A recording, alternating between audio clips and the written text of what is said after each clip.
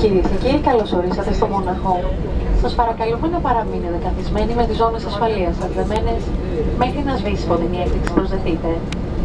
Πριν την αποβίβασή σας παρακαλούμε να ανοίξετε τουλάπια με προσοχή για να μην πέσουν τυχόν αντικείμενα και επιπλέον ελέγξτε τουλάπια και τις τσέπες των καθισμάτων